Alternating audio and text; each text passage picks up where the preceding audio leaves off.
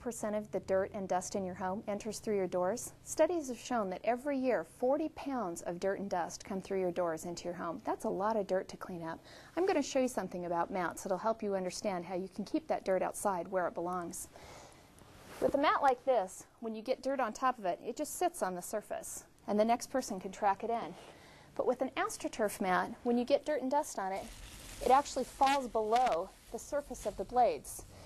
The blades act like tiny knives that scrape the bottom of your shoe and take off the dirt and mud so that you don't track it inside the house. You can tell by looking at this one walking over with a wet or muddy shoe, you just track in more dirt.